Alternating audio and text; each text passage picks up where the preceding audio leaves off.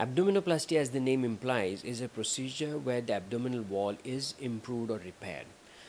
It is usually done for those who have a very lax abdomen or a pendulous fold of skin or lax skin in the infraumbilical area.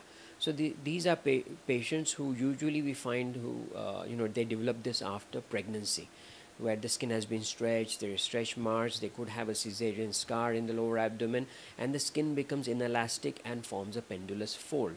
This inelastic skin will not shrink by any means non-surgical. So the best thing to do is to get rid of all of this loose skin and tighten the abdomen. So at the same time when you are getting rid of the skin, you can tighten the abdominal muscles as well. These muscles, for instance, the vertical rectus abdominis muscles, they tend to move apart during pregnancy.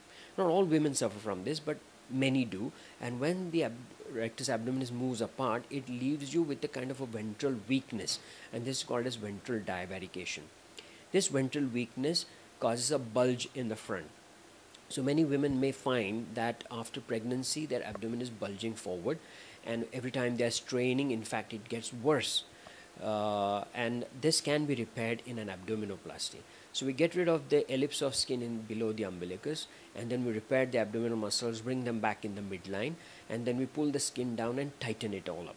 So they are left with a low kind of a caesarean type of a scar and that fades over time. It may take a year or so to fade. Uh, most of the stretch marked skin below the umbilicus or the navel is gone and if you do liposuction at the same time like the upper abdomen or the flanks or the lower back where you have bulge then it improves the figure even more. So you could get the pre-pregnancy figure back. Now the cost wise this procedure if it's just an abdominoplasty may cost anywhere from 1.5 to 2 lakhs because it needs hospitalization. You have to uh, have drains in for a few days till the drainage stops and then you can go home. Because at the time of the procedure is also three and a half to around four hours time. And um, once um, drains are out you can go home recovery time uh, is around you know 10 days to 2 weeks for the wound to heal up. And then uh, for the swelling to disappear which is around 4 to 6 weeks time. If you're doing liposuction as well that can take care of the, this time duration can take care of that as well. And the cost of liposuction is the same as I uh, you know mentioned around 25 to 35,000 per zone.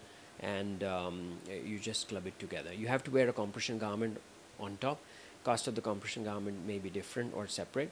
And um, wearing a good nice compression garment and having massage helps you to get rid of the swelling fairly fast